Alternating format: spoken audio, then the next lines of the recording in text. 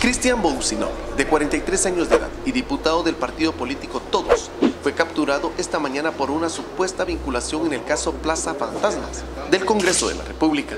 Con un semblante serio y ojos llorosos, de saco y corbata, con una goma de mascar en la boca, el congresista fue llevado al sótano de la torre de tribunales para escuchar la audiencia donde se le hizo saber el motivo de su detención.